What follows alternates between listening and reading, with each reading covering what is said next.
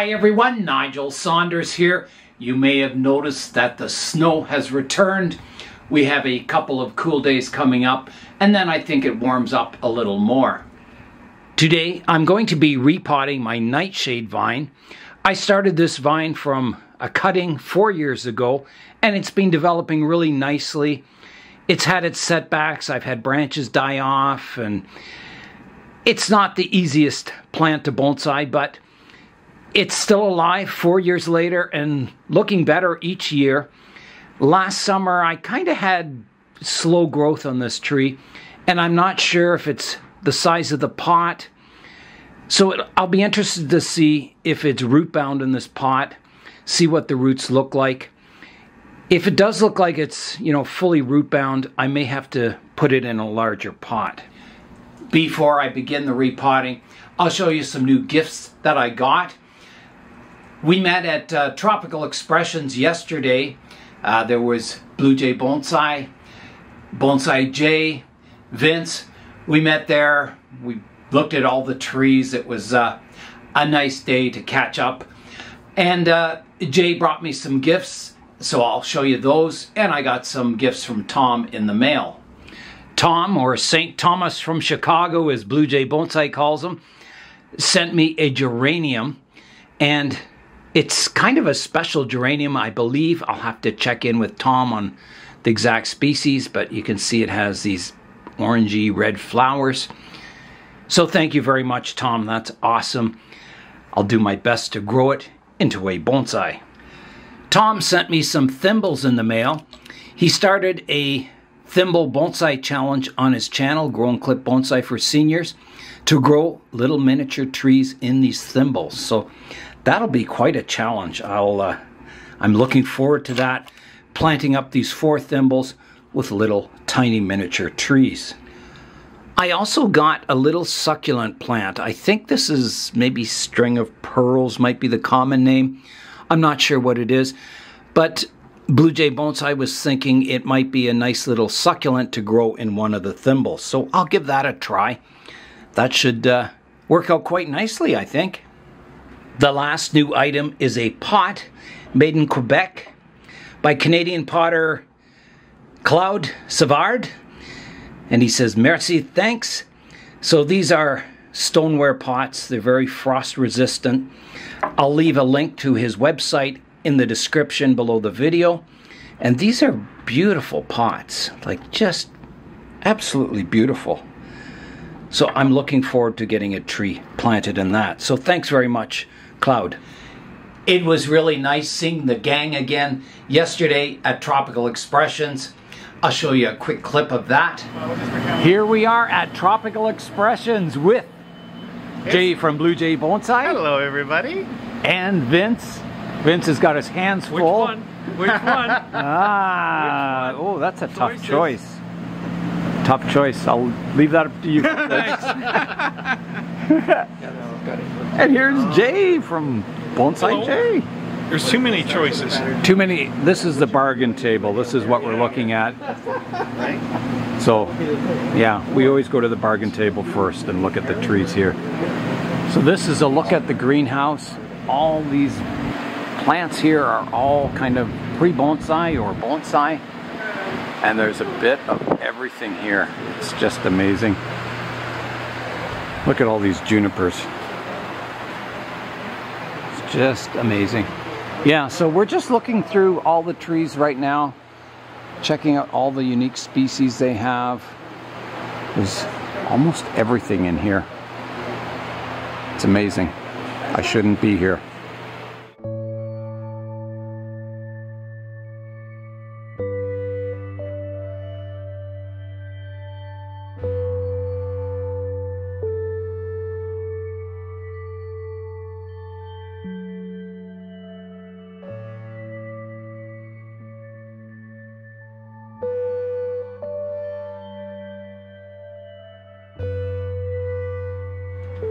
And now, on this cold, wintry day, it's time to repot my nightshade vine.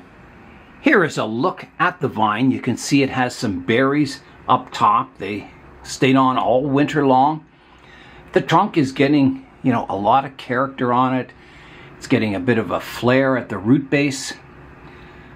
Yeah, so I'm really happy with the development of this nightshade vine so far, and I hope to develop it far into the future.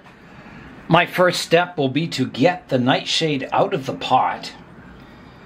So, I'll push up from the drainage hole in the bottom, and out it comes. Beautiful pot, this one. So let's have a look at the root base. You can see it has grown lots of roots. So I don't think it's like totally pot bound, but it certainly grew well last summer. So I will get the drainage screen out of the bottom here. Like that. And I think there was two little ones each side here.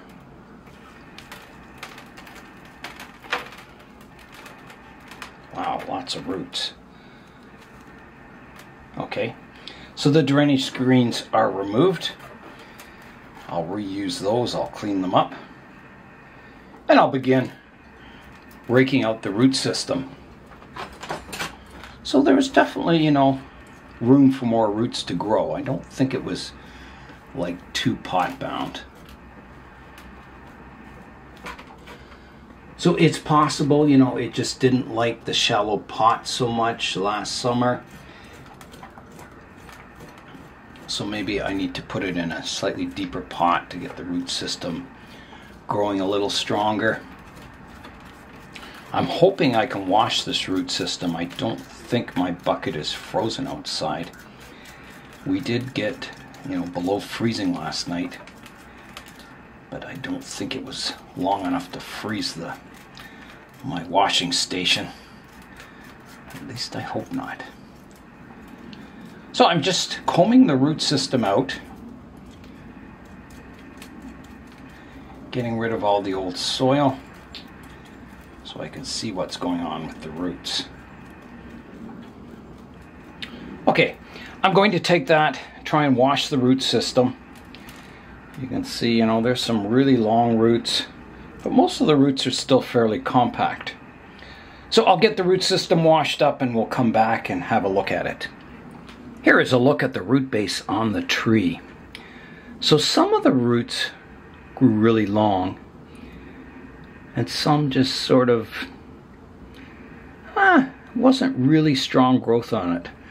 Now at the surface here you can see there's kind of a plate of roots here these root systems generate a lot of suckers that I just keep cutting off. And it's kind of formed like a, well, a root plate here. Underneath the root system's looking quite good. So I'm thinking, I'm thinking it didn't really like this pot. I think it prefers a deeper pot, sort of more of a free draining pot rather than a landscape style pot. I'm just picking out some weed roots. Yeah. So I think I'll find a different pot for it. I'm going to do a bit of root pruning here. So I'm going to prune off these really long roots. This one comes from down here. I'll take it off right at the base because it's not growing a good radial direction. My other long roots are here. Snip them off. There's one here I can reduce back. Here. Kind of get it a bit flatter on the bottom. That's not too bad. So I will examine the surface roots and do any root correcting, but I don't think I'll be taking a whole lot off today. You can see some of the suckers that have grown up here that I'll snip back. That happens every year. I get suckers growing from the root base. Popping up in the soil and I just keep pruning them away. But it leaves quite a gnarly looking root base.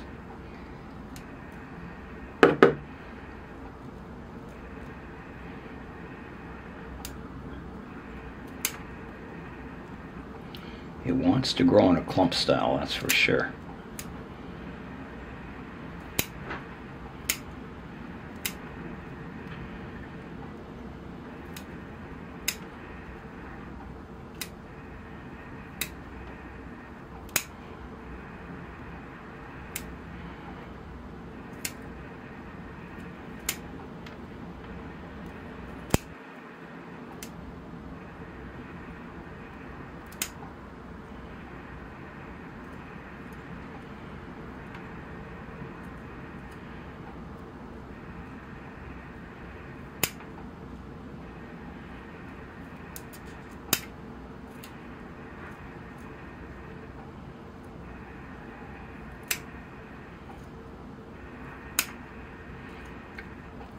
And it looks like each one of these suckers kind of tries to develop its own root system. So I'm going to kind of remove as many as I can.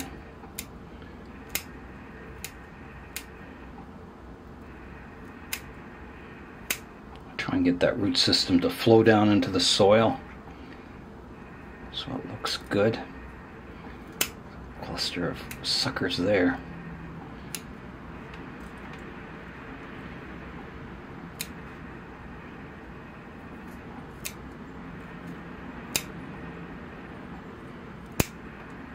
Okay. All right, I think that's kind of got a lot of the root system cleaned up. So now I'll come in and do a more detailed look at it, or detailed pruning. Wow, listen to that wind outside. Okay, so I'm just looking at all the roots now. So this one can be shortened. There's one here that goes a funny direction. I'll prune away that part of it. There's a weed root in here. Snip that away.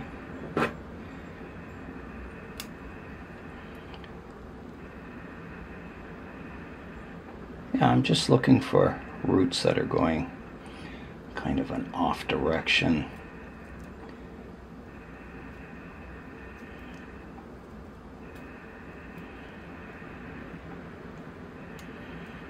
This one's sticking up a bit. I better get rid of it.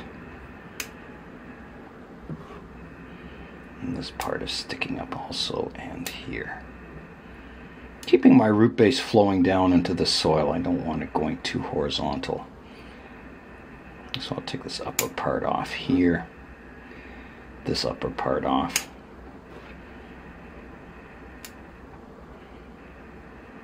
This part curls around here. I'll take that off. Remove those ones from the bottom.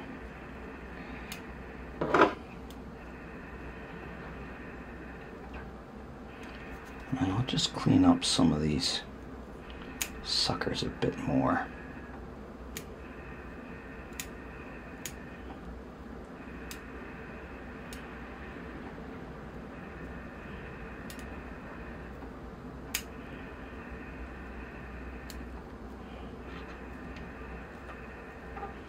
There's one here sticking up.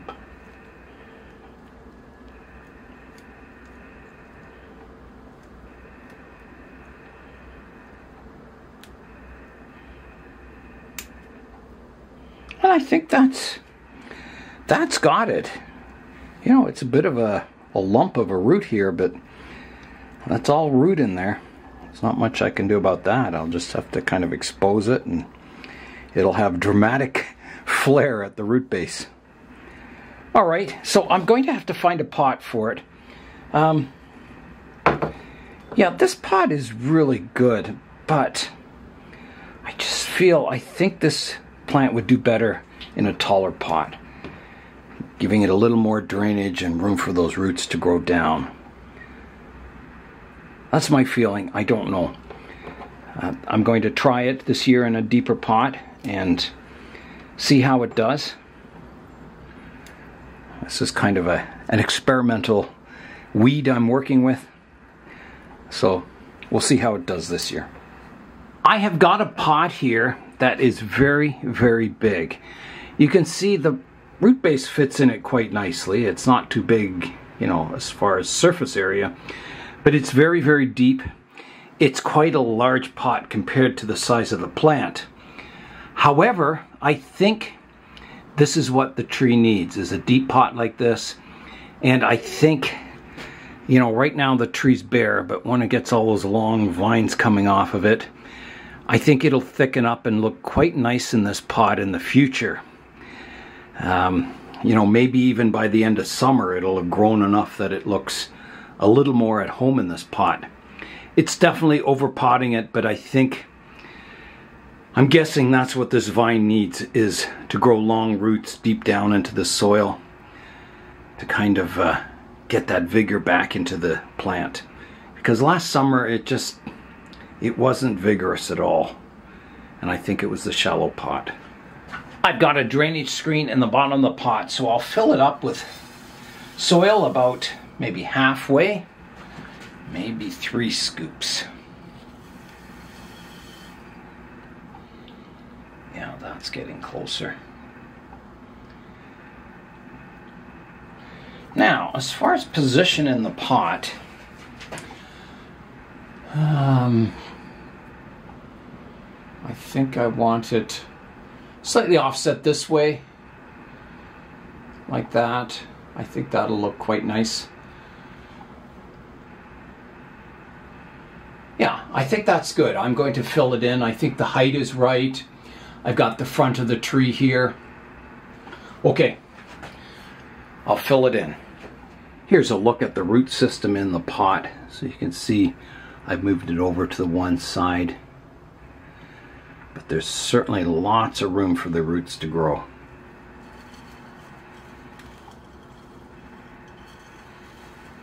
Now I'm just going to recheck the height in the pot because I had, you know, uh, quite a flare at the base, I think I can lift the tree just a little bit and show off that root flare a bit more.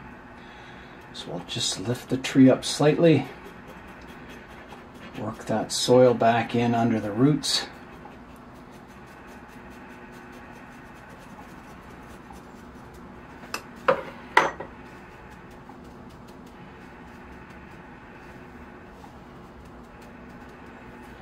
Let's lift it out a bit more.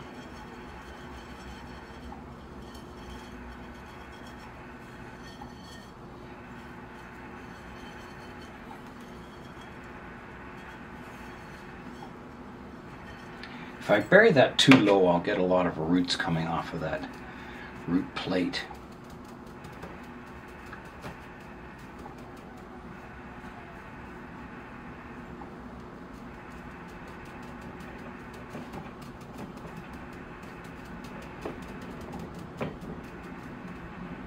tree's nice and firm in there. I've got all my air pockets out. Yeah, so there is a look at the tree. That's looking good. So it is time now to give it a water.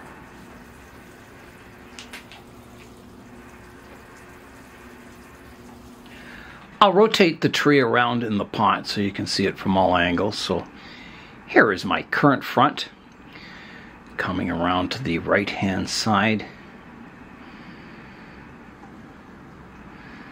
to the back the left hand side and back to the front. Here's a look at the root base of this tree. It's very very interesting I think. It's got a lot of character too. After the repotting, I'm quite surprised the tree doesn't look, you know, ridiculously large in the pot. I think, you know, once the foliage comes out, and in nature, these vines can extend like meters in just over the summer. So if I get the vigor back in the tree, it could grow quite large in just one year. So I'm hoping that happens. I'm hoping it uh, takes off in vigor this summer and you know develop it into a larger vine. My nightshade vine is repotted. I have high hopes for this tree this summer. I'll keep my fingers crossed and see how it goes. So that is all for today. I'm Nigel Saunders. Thanks for joining me in the Bonsai Zone.